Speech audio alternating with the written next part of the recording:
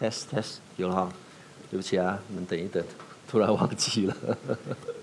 好，其实我很期待每一次星期啊第五个星期的这个崇拜，啊，你们猜猜为什么？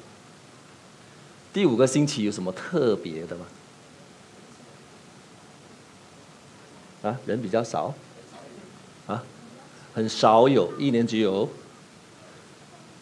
大概四次啊，对吗？第五个星期，OK。那第五个星期你有没有注意到啊？考考你们，这个很难呐，啊，我们的第五个星期跟平时的呃崇拜有什么不一样的地方？啊，猜到，等下等下你们的差点可以吃双份，谁猜到？啊？第五个星期，我们啊读的经文不太一样，知道吗？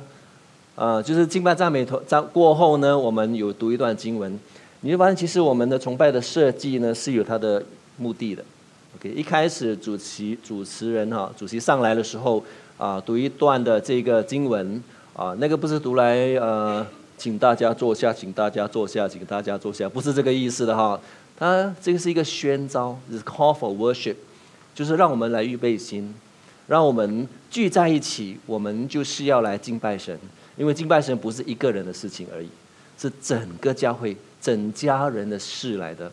所以呢，我们就借着这个宣召的经文呢，我们就预备自己。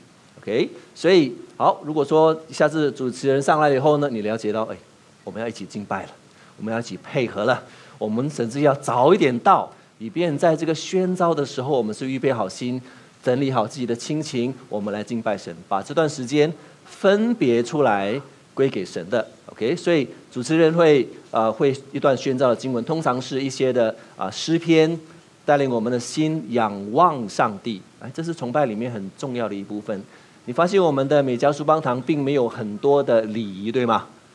谁去过一些教会很多礼仪的？举手一下。很多礼仪的有啊。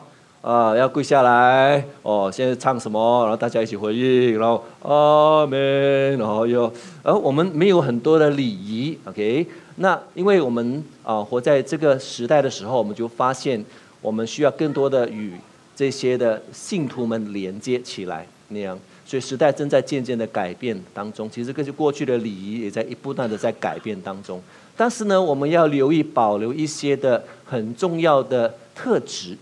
让我们不失去崇拜的意义，要不然崇拜也可以成为一个舞会，你知道吗？有去过一些教会的崇拜像个舞会这样子吗？啊，有哈，哇，就是好像夜总会这样子哦，嗯，嘣嘣嘣，哈，很声光效应啊，哇，去了很爽的嘞。呃，偶尔去一次我觉得是没问题啦，但是呢，你不要忘记了崇拜的意义是什么？崇拜不是为了你的享受，崇拜就是。以神的子民来顺服神，来敬拜他，来归荣耀给他，这个特质是神的子民所需要有的。好，我们经文赞美完了，然后就主持人上来，对不对？OK，谁记得第一个礼拜我们读怎么样的一个呃经文呢？第一个礼拜读我们读的是十诫，还记得吗？十诫啊，摩西的十诫，那是旧约最早的开始，对吗？好，第二个礼拜呢？谁记得？啊，不要再考你们了啊！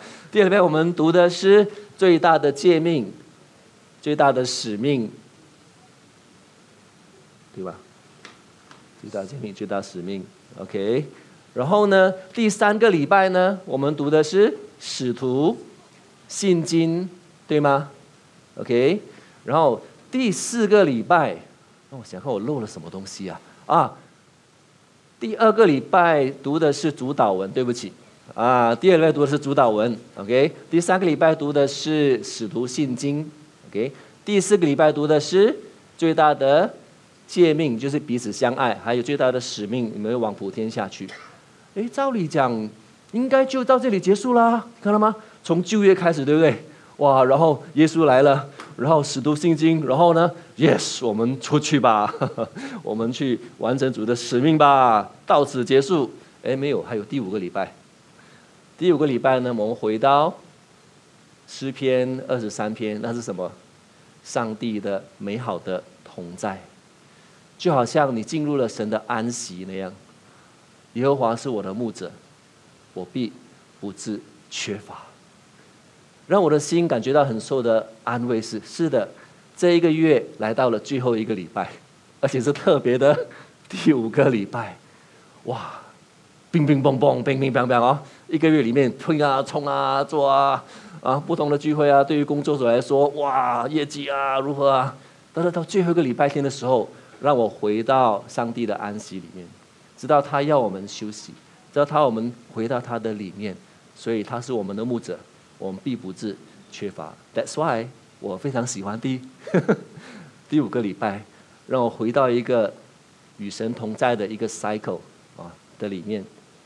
我们会继续的来强调一关有关家的一些的主题啊。这个家很重要的，不只指的是神的家，我们渐渐会谈到呢，我们自己的家啊是如何的。然后保罗在写这封书信的时候呢，你们还记得他是在哪里写的吗？在监牢里面写的。上个上一次的讲到，我们就提到他是在监牢里面发出这样子的一个鼓励，这样子一个充满盼望的一封的书信。你想象一下，如果一个人坐监牢，而且他是受苦，而且呢，他很多的自由被限制了，没有这么多的自由。请问他能够做出怎么样的一个祷告呢？如果你被关在监牢里面了，啊，不是你犯错了，冤狱好了，呃，你被人家冤枉啊，你关在监牢里面的话，你会怎么样的祷告啊？主啊，救我！哇，主啊，抓住那个坏人呐！啊，主啊，我是无辜的，你要把我放出来啊！你看到吗？我们祷告会是这样子的祷告啊。哎，可是保罗祷告相当的不一样哦。他并不是为了自己的祷告，他祷告的反而是什么？为着在外面那些信徒们来祷告，他们要站立得稳啊，他们心里的力量要刚强起来啊，他们要继续的为主持守啊，他心中充满盼望的做出这样子的一个激励人的祷告。刚才所读的那一篇的圣经是保罗的一个非常棒的一个祷告来的。这也可能哈，我个人看法里面呢，整个新约里面呢最美的祷告之一。这里面呢，帮助我们看到如何的可以重新得力，如何的可以重新得力。以弗所是怎么样的一个城市呢？以弗所呢，基本上也是一个很多偶像崇拜的一个城市，甚至呢，他们这个偶像崇拜的势力是非常的。大的，他们那边有一个很大的偶像的神，叫做亚迪米啊，Artemis。所以当保罗来到以弗所宣教布道的时候，他受到了蛮大的一个反对的势力。为什么呢？那边有一个大神，那边有很多的信众，哇，他们感受到受威胁，起来要来全程啊反对保罗。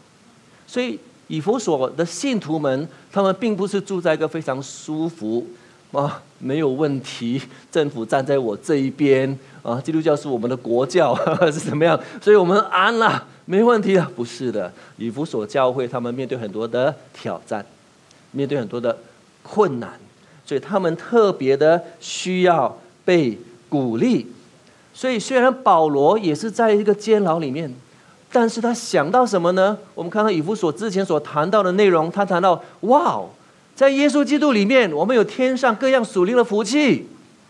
哇哦，在耶稣基督里面，我们可以满有信心、坦然无惧的来到上帝的面前。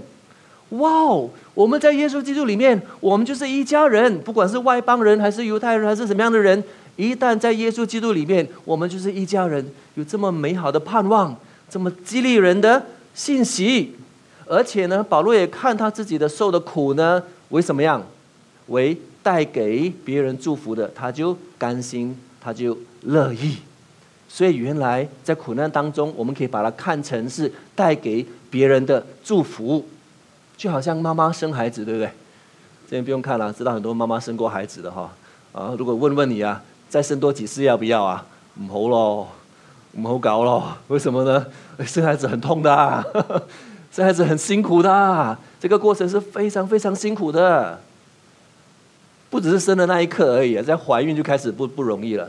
哎，这么不容易，你为什么还要生啊？我看到未来我的孩子出生的时候那份喜乐，看到吗？这个过程他就愿意忍耐，愿意坚持下去。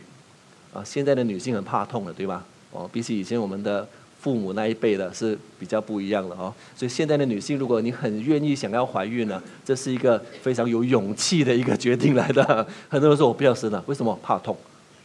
所以他不要了。保罗看见的是，虽然他在受苦当中，但是未来看见这些教会被建立起来，这些信徒生命被改变。他把苦难当成是一个带给别人祝福的荣耀，这是不一样的一个观点，使他可以坚持的。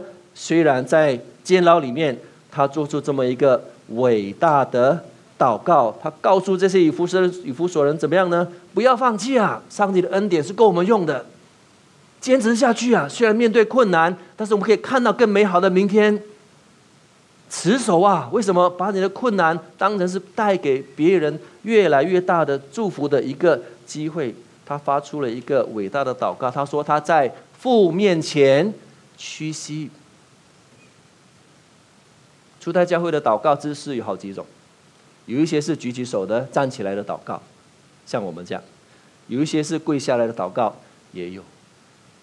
保罗非常迫切的要求一件事。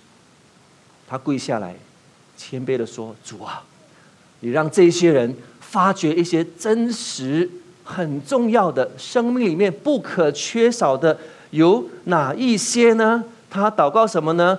我要使他按着他丰盛的荣耀，借着他的灵怎么样，使你们心里的力量刚强起来，心里的力量刚强起来。”心是最重要的。当我们提到重新 restore again 啊得力的时候呢，要从哪里开始？从心里开始，并不是你的力气少了多少，有时候也并不是因为你的资源少了多少，很多时候是因为心很累，心很软弱。所以，其实保罗的祷告，他抓住一个很重要的核心：that your heart will gain more power in the spirit，心里的力量可以刚强起来。中国人有句话说什么呢？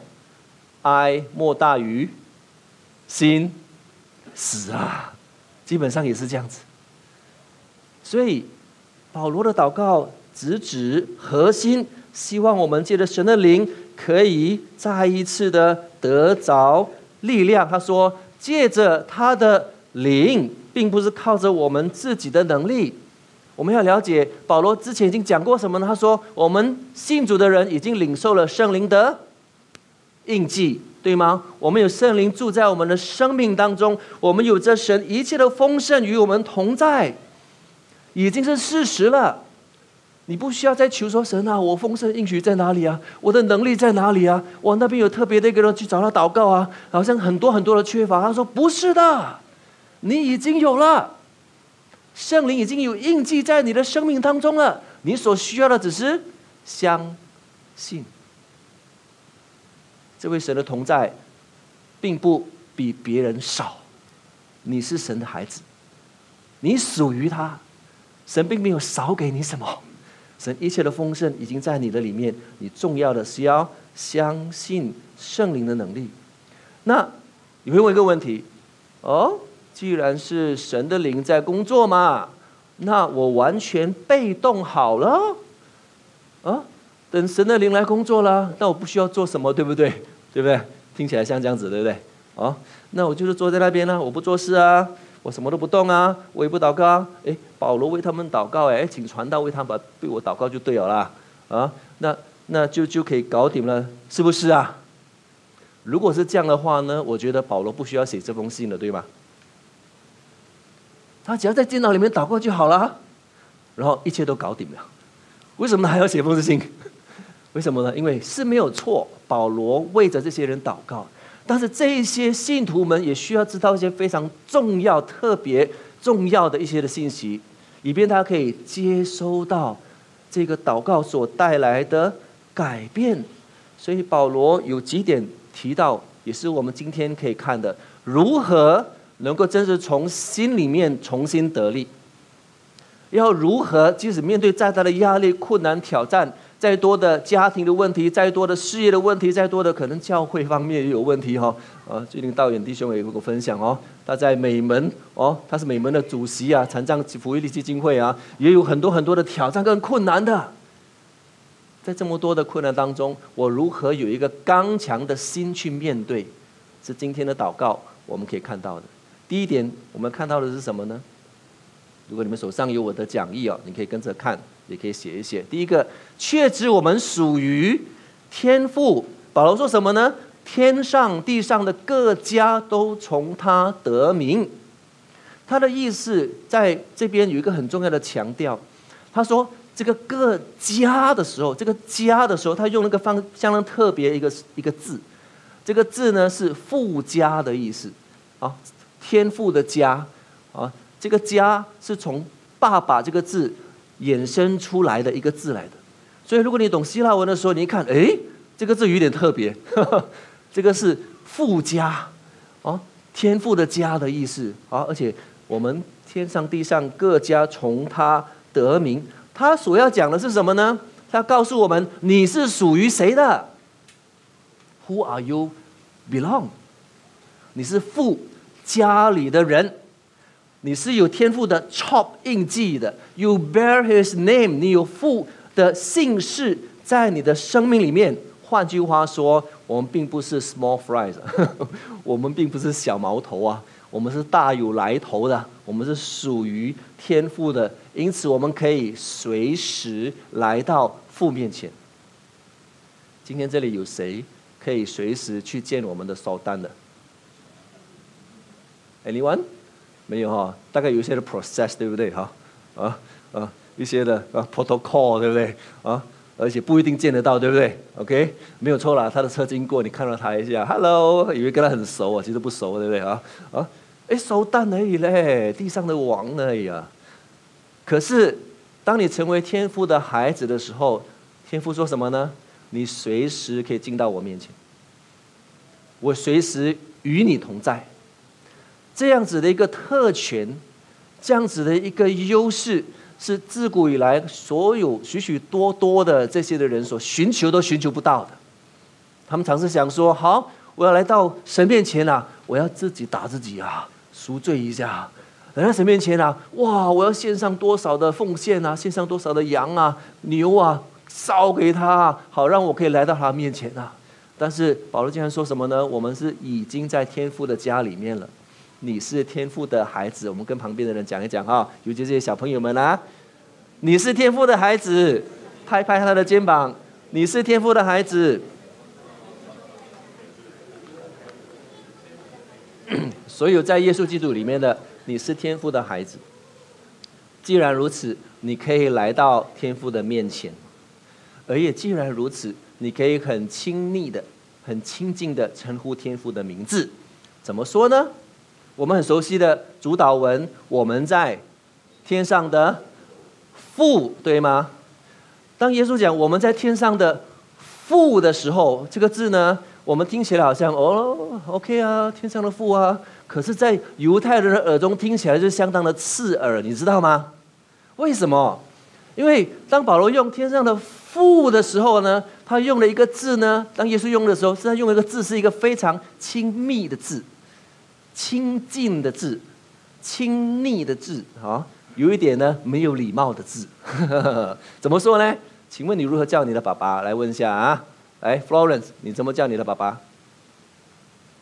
爸爸，对吗？啊，有没有很很严？有没有觉得很害怕？爸爸，没有对对？爸爸对不对？啊，再问另外一个，丽婷，你怎么问你的爸叫你的爸爸？啊，快快快，爸是吗？还是什么？爸爸也是啊，谁叫 daddy 有没有？对啊，有 daddy 的哈。啊，还有嘞，还有哪一些是比较亲密的字？你叫了，哎呀，听别人听起来有点。热，鼓励一下的哈，有没有啊？你你孩子怎么叫你？Daddy 啊，弟弟，弟呀啊弟，哎呀，OK，啊，还有没有是 special 的？哎，后面有没有是 special 的？Amos，你孩子怎么叫你？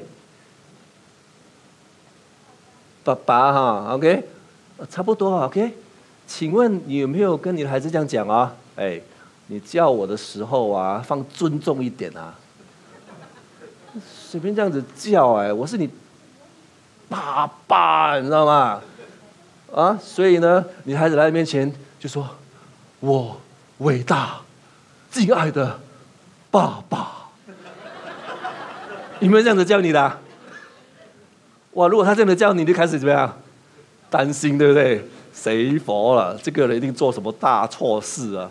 来叫我的时候，我伟大的爸爸这样子，没有哎。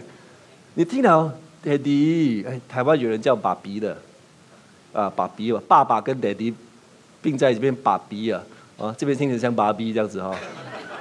啊，这边就不可以让这样子叫哈，可是他们叫起来特别的、特别的黏啊，特别的亲密，特别的 exclusive 啊，专属啊，只有他可以这样子叫。如果万一哈，他的同学来到他的家里呢，然后也一样，daddy，哇，no no no no no，不可以，这不是你叫的，你叫安哥，我叫 daddy。耶稣用的字，我们在天上的 Daddy，我们在天上的爸爸，这么的接近，这么的亲密，那些犹太人听了嘴巴掉下来。可以咩？哇，父这么高高在上，父这么威严，父这么有权柄，这么的公义，你这么靠近的叫他，你莫大莫小呀？原来在耶稣里面，我们是如此的可以属于天赋。这个是一个人深深需要知道的。人要重新得力，他需要知道他在谁的手中。我们在天赋的手中，因此呢，我们有着一切的基础可以重新得力。天赋绝对不会放下你，就好像一个爸爸绝对不会放弃你的孩子。怎么样都好呢？我一定把他救回来。怎么样都好呢？我想办法保护他。为什么？他是我的孩子，天赋的孩子。这一点让我们有着重新得力非常重要的基础。好，我们再讲一次啊！我们是天赋的孩子，来跟旁边人谈谈。我们是天赋的孩子，我们是天赋的孩子，我们有这个绝对的基础，可以重新得力。保罗就继续的祷告了。保罗继续说什么呢？其中一句他说：“愿我们更多的明白基督长阔高深的爱。”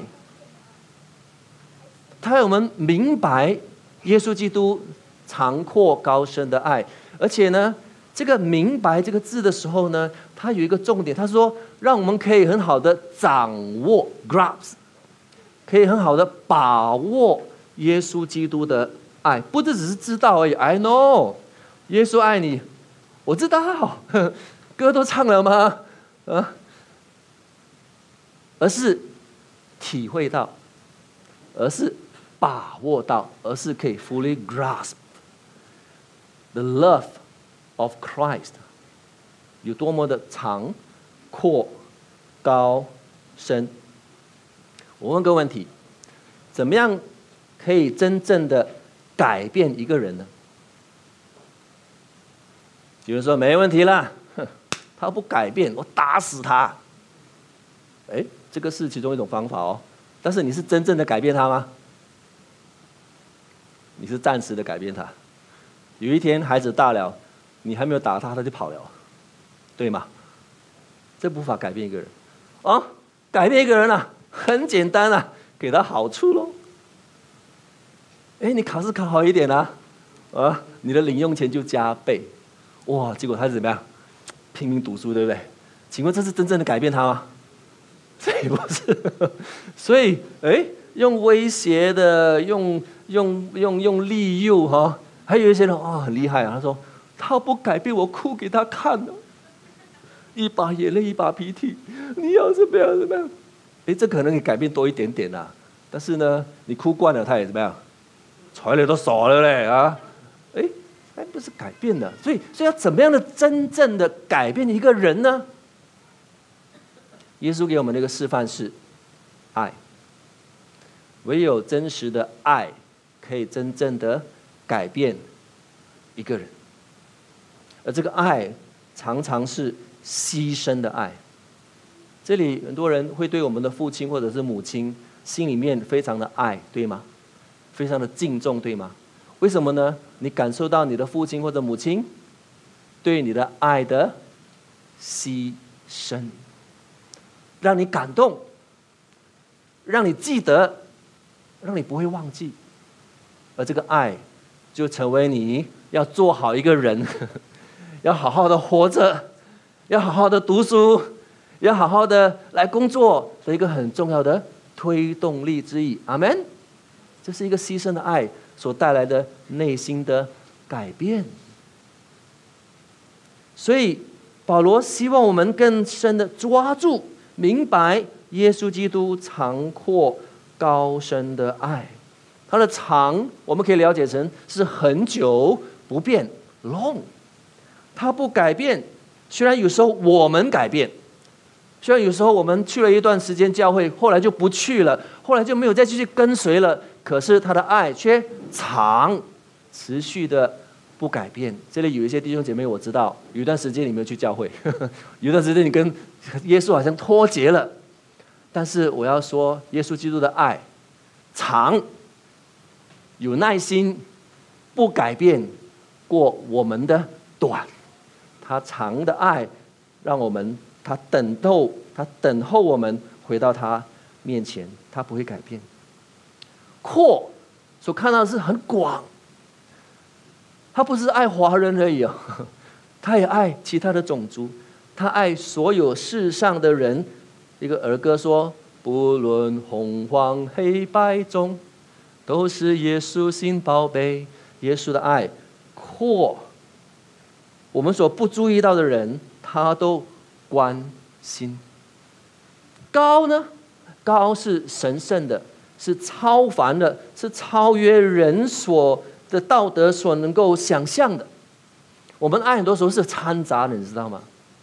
老实说，有时候蛮复杂的，有时候不那么单纯的，有时候不愿意那么牺牲的。但是呢，耶稣他有专一并且超越的爱，最后深是彻底的原谅。不管一个罪人的罪有多深。耶稣的爱胜过这些罪所能够淹没的，他把这个人救回来。所以保罗他很深刻的说，在罪人当中，我是个罪魁，I'm the most sinful person in the world。我是罪魁，我是最最有罪的。但是耶稣的爱深，他把我挽回过来，所以他深刻的抓住了，体会了。所以我想，一个人如何可以有更多的爱呢？当他更深刻的体会到爱的时候，当他愿意谦卑的时候，他可以更好的、更多的体会到神的爱。有些时候呢，上帝透过一些人、一些特别的事情，让你可以感受到他的爱。有一个故事呢，是发生在很久以前台湾的一个故事。OK。这个切肤之爱，这个爱爱到他愿意把他的皮肤捐出来，把他的皮啊捐出来，是什么意思呢？在上个世纪初啊，有一些宣教士就到台湾去做宣教，并且他们也设立了一些的基督教的医院。诶，在台湾还有不少基督教医院啊，像我们的 Joseph，他的父亲母亲就在基督教医院做过院牧，对吗？那个是屏东是吗？啊，屏东基督教医院对不对？啊，他是在基督教医院长呃生活过好几年，对吗？OK，那这个是彰化啊，台湾的另外一个地方叫彰化基督教医院。那么怎么回事呢？彰化基督教医院是由兰大卫 David Lan Lansborough 啊，兰大卫博士呢去到台湾去设立了这个彰化基督教医院，而他的太太呢，Mrs 啊这个这个连马玉女士呢。她就是后来就嫁给了这位呃兰大卫医生，OK，所以他们就那边辛苦的建立起这个教会的医院啊，基督教的医院的这个不断的服侍那边的人。在一九二八年的时候呢，有一次发生了一件事情，就是有一个小孩子才十三岁，他的名字叫周金耀啊，姓周的 周金耀。那怎么回事呢？哦，他这这个膝盖那边呃突然有一个伤口，可能是跌倒了还是受伤了，有一个伤口。可是他的他的父亲不晓得如何去照料哈，以致他伤口越来越大，越来越大，啊，细菌已经跑到伤口里面去了。而他们那时候很迷信啊，对不对？啊，呃，烧香啦，拜佛啦，拿符水来喝啦，拿香灰来涂啦，哎，各样各样方式都做了，可是都不会好，而且越来越严重。哎，这个最后是要命的，你知道吗？当细菌跑进皮肤的表皮里面的时候呢，是越来越越扩散的、发炎的。所以当这个周金耀不能走路，被抬到医院的时候呢，他的伤口已经差不多一尺这么大了。哦，在他脚呢一尺这么大了，所以这对夫妻呢就不断的细心的照料他，为他洗伤口，为他敷药，然后一直尝试的好好的照顾他。而且这一位呃连马玉啊，这位呃院长夫人呢，她也不断的来呃爱他，并且讲故事啊等等照顾他。可是伤口一直没有好，一直没有办法愈合。所以那时候，兰大卫医生呢就想，哎，曾经哦，那时候医学还没有那么发达，曾经有人记录过哈，可以用植皮的方式呢，尝试把那个皮肤怎么样，给渐渐的建立起来，好那样。可是他们还不清楚可以怎么做，但是可以试试看，也许可以试试看。当院长夫人知道了这件事情。她心里想什么呢？她心里想，耶稣基督被钉在十字架上是为了爱世人的缘故，他甘心为人流血舍命，我实在无法报答他大爱的万分之一，因此他做了一个决定，他说：“把我的皮给他。”一开始，兰大卫医生也不愿意这样子做，但是没有办法之下呢，最后他们就做了这样子一个决定。要在他的身上切下四块呢，大概像 Handy Plus 这样子大小的皮肤呢，来移植在周金耀的皮肤上面。周金耀换药的时候，这位院长夫人就会跟他讲：“哎，有一天会有人给你皮肤哦。”他是谁呀？哦，他是爱你的人啊。他很好奇，他很期待他的皮肤会好起来。结果当那一天躺在手术室上的时候，他往旁边一看，竟然那个给他皮肤的，就是常常来为他换药、爱他、讲故事给他听的这位院长夫人。他受了很大的感动。他说：“为什么？我是小小一个孩子。”我是微不足道的人呢，为什么你要把你的皮肤给我了？我这个手术到后来其实并没有非常的成功，但是呢，透过这个方式呢，他们找到更好的方法，就是移植这个周金耀其他地方的小一点的皮肤在他自己的皮肤上面，所以渐渐渐渐的，他也好了，带来一个相当大的一个突破。这件事情深深的不止感动了周金耀，他也感动了很多很多那时候甚至现在所知道这个故事的人，这个叫切肤之爱。后来你猜周金耀做了什么职业呢？啊，他做了牧师。他很受感动。他说这个爱是长阔高深的爱。上帝透过一些特别的方式。让一些人深深的被触动到、感受到，这就为什么我们在家的这个环境当中，就是要如此去行。当我们愿意无私的去付出的时候，你不要忘记，一定不会白费的，一定会更多激发更多人有爱心起来，建造这个社会的，包括建造神的家庭。所以我们要来看一件事情：侍奉是被爱激励，不是被命令所逼的。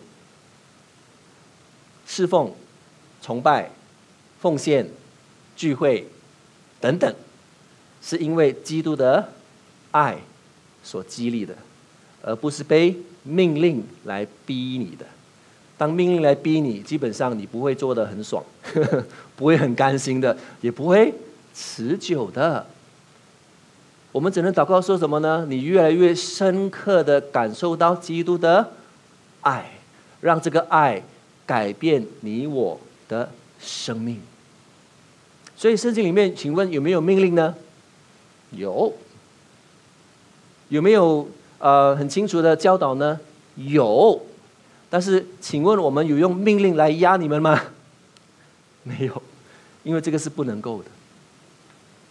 但是呢，我们深深的期待是你更深的感受到耶稣的爱，耶稣的爱激励我们。使我们愿意来更多的侍奉他、敬拜他、服侍他。其实我们的教会才刚开始，基本上呢也有一些小小的毛病在我们当中哦。想想看，我们的毛病有哪一些啊？你了解的啊？我们的毛病、我们的缺点有哪一些啊？不敢讲哦。其中一个迟到。OK，迟到是一个问题，啊，但是呢，我们绝对不是用骂的，也不是用命令的。我，敬拜神迟到你呀，我怎么怎么样？不是，而是我们的祷告是，让基督的爱更多的感动，到你愿意说主啊，我愿意找到，我愿意付出多一点。为什么？你配的，你是值得我们爱的，你是值得我们准时预备好心来敬拜的。愿基督的爱激励我们，不迟到。奉献，圣经的教导是十一的奉献。我知道不少人会很挣扎的，十一奉献了，要我的命妹啊！哎呦，不够啊，还是怎么样啊？那这个由你来跟上帝来去沟通吧。为什么呢？请问基督牺牲的爱值不值得我们奉献十分之一？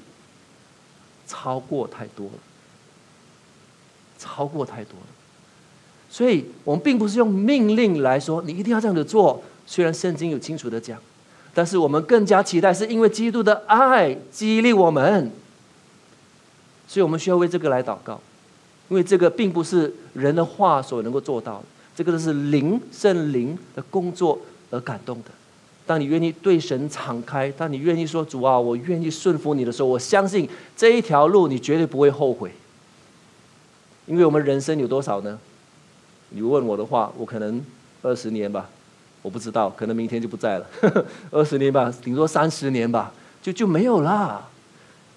在我离开这个地方以前，在我离开这个世界以前，我要留下什么？我们希望留下更多人跟随耶稣，阿门。我们希望留下的是我们的孩子们继续的跟随耶稣，阿门。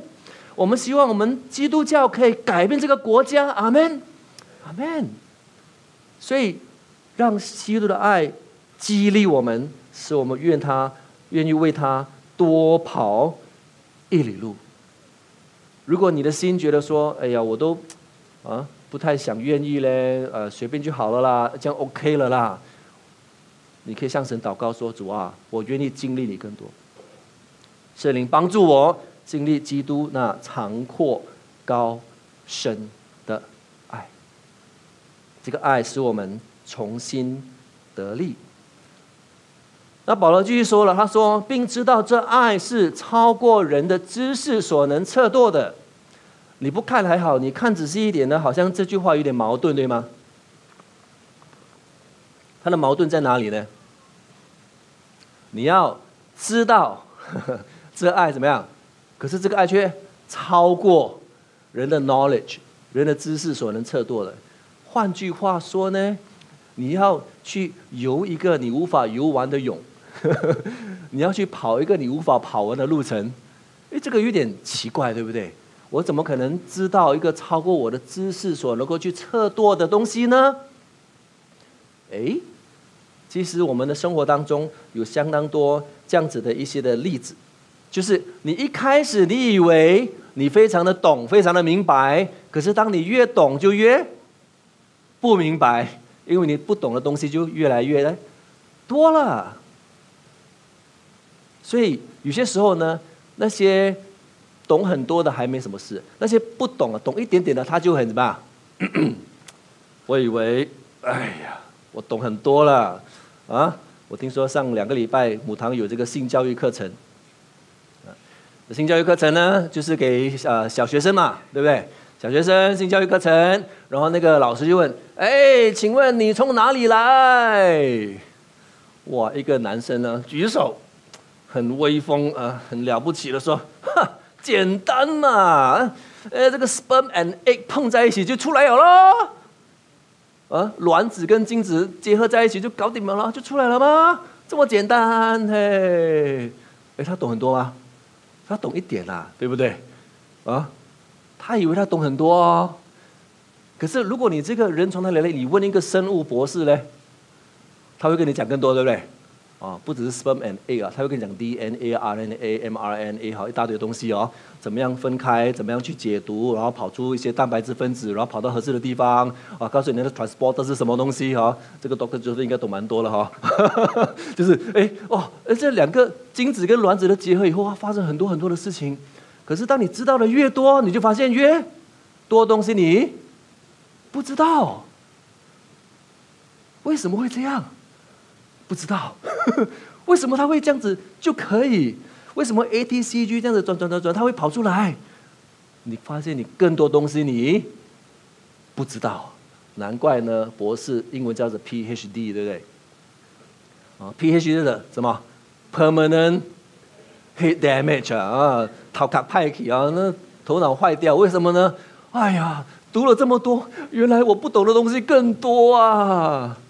这个是诚实的。人会讲的话，对吗？所以，当我们越去认识，我们就越发现我们懂得更加的不多。一开始我也觉得耶稣的爱啊，很爱我了。为什么他钉十字架吗？搞定没有咯。可是，当你越来越认识、越来越跟随耶稣的时候，你就发现，哇哦，他的爱深过我能够测度的，大过我能够想象的。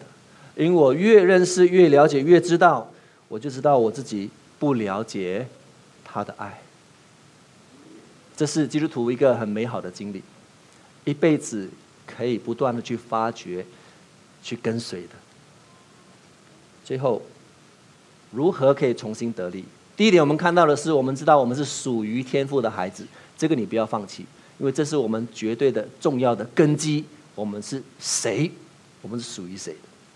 第二。我们要更多的去认识、了解耶稣基督长阔高深的爱，因为这个爱不只是改变人，也改变我们自己。我们越去跟随，我们越发现耶稣的爱是大过我们所能够想象、所能够知道的。第三，保罗这边也提得很清楚，他说什么？和众圣徒一同明白耶稣基督长阔高深的爱。基本上，你没有办法一个人去明白爱，了解吗？你要如何明白夫妻的爱呢？你一定要结婚了才多一点的了解，对吗？对，没有办法一个人去了解爱的，通常都是在一起的时候。所以保罗强调和众圣徒啊，我要强调这个圣徒，就是我们都是天父的孩子，都是圣洁的神所拣选的，我们是众圣徒一起去明白的。而这段经文呢，他提到了我们、你们，一共有七次以上。所以他是在一个家的环境里面讲这样子的祷告，他是在一个教会的环境里面讲这样子的祷告。我们不可能离开教会而明白耶稣基督的爱，而从此呢，我们也无法真正的重新得力。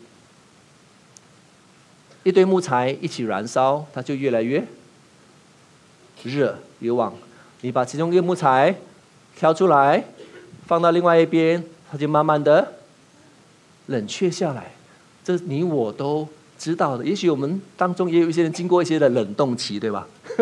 冷却期，对吗？哎呀，离开了，冷冷的，在外面很孤单。啊，终于现在又回来了。我们是一定要跟众圣徒一起，才能够重新得力的。所以不要把你的问题 keep it to yourself，然后不要把你的问题是说，哎呀，这是我的问题而已啊！我来到教会，哈哈哈哈，我很好，我我没有问题，呃，我一切都 OK。可是在家里，呵，气死我啊！怎么样？怎么样？怎么样？其实基本上你可以渐渐的把你的需要来告诉教会的弟兄姐妹，并不是在那边登广告，不是，而是你找你合适的人来谈。我们借着祷告，我们借着辅导，我们借着明白神的话，我们要走出一条活路来。这是一个很重要的信息，和众圣徒一同明白，他是跨过种族的。保罗说了，外邦人、犹太人、希腊人都在耶稣基督里面合而为一。他甚至也要跨过时代的鸿沟啊，generation gap。我觉得我们这个时代呢，generation gap 大过 ethnic gap。OK。这时代的鸿沟大过种族不同的鸿沟，你认为吗？因为我们的文化开始这样下来，美国的 Hollywood 文化就很大的影响了各个民族，大家都被现代化潮流所影响。可是呢，都有一个问题是，这一代跟上一代的 gap，这一代跟上一代的这个鸿沟很难去跨越，这是非常不容易的。所以我们在这里一起聚会的时候。让我们彼此的欣赏，看看你的左右有没有跟你不同时代的人，看一下吧。啊，呃，我就跟你们不太同时代啊，啊，是吗？哎，我们有上一代的小朋友在，啊，我们有我们的晚辈啊，我们的长辈们也有在，这个跨 generation 跨啊年龄层的这样子的一个一个联系是重要的。这也是我们学习如何彼此相爱一个重要的基础来的，要不然教会只是越来越走向潮流。哇，那个教会很爽啊！为什么都是年轻人啊？跟我一样的，哈哈，我就要离开我的教会，我去到那个很爽的教会。bang bang bang bang，yes yes good good。没有想到有一天他会老的，你懂吗？有一天你会老的。当有一天你老的时候呢？你希望别人说你老老老靠靠，我不要跟你一起了，我们又去新的 另外一个教会。这个基本上就是现在城市教会的问题，不断的做 church migration，我们去找合适我的教会，找我爽的教会。但是你忘记了，教会不是这样子看的，就像家那样，你不能说我家的饭不好吃了，我家的床不好睡了，我就我。安迪哦，我去我邻居，我去我朋友的家，极爽啊！可以这样子吗？不可以。我的家就是这么小啊，我们的收入就是这样子啊。那我就在家当中好好的建立它，我就要好好好的爱他，好好的彼此的鼓励。因为家好或不好，不是大不大，不是有钱不有钱，不是爽不爽，不是舒不舒服。而是这就是你的家，教会也是一样，所以我真是期待我们带起一个不一样的教会观，是知道有困难，可是我们去搭桥梁；是知道有一些文化的不同，可是我们尽量维系彼此，因为唯有这样子呢，教会才能够抵挡得住任何未来可能临到的挑战，可能逼迫会来，可能。时代的潮流很大的在冲刷着教会，世俗化的影响不断的在给教会的门撞击啊！他要你打开，他要你接受我们的想法，他要你改变你的态度，他要改变你对神的效忠。所以，我们在这小小的事上，我们要坚守，来建造彼此的鼓励，和众生徒一起明白基督的爱是如此的长阔。高深，离开信徒们你不行。最后，保罗说什么呢？他说了一个很终极的目的：The ultimate goal 是什么呢？我要使你们充满神一切的丰盛。这什么意思？这个超过我们所能想象的。神一切所要给你的，他要充充满满的给你。只是有些时候，我们自己的容器破了。漏掉了。只是有些时候，我们的盖子盖起来了，不要来管我。有些时候，哎，我们容器脏了，所以它不能够放在里面。所以这整个过程，神要丰丰富富的充满你，但我们要预备好这个容器。所以借着耶稣基督的宝血，神把我们这个容器给洗干净了，洗干净了就可以装上神一切的丰盛。请问在装一切的丰盛的时候，这么顺利就装好吗？哎，这个在我们的布道所哈啊，谁知道在哪里？啊，在我们的橱下面了啊。OK，哇，这个麦洛罐是特别大号的，我不懂是谁用过的哈。呃，谁去那个？Gym 啊，喝那个 protein 啊，哇，这么大一罐的，我没有看过这么大的罐子嘞。我还以为说是大象喝的牛奶，哎，不是，不是大象啊，而是人呢。哦，这么大一罐，哦，所以他装我们的 Milo 啊。这边家里面很多人装 Milo，对不对啊？OK，请问你装的时候你会做什么？倒倒倒了，你会怎么样？拍一拍，摇一摇，有时候怎么样？咚，咚一下，对不对？为什么？装满一点哦，对不对？再装，而且咚咚咚，我再装，对吗？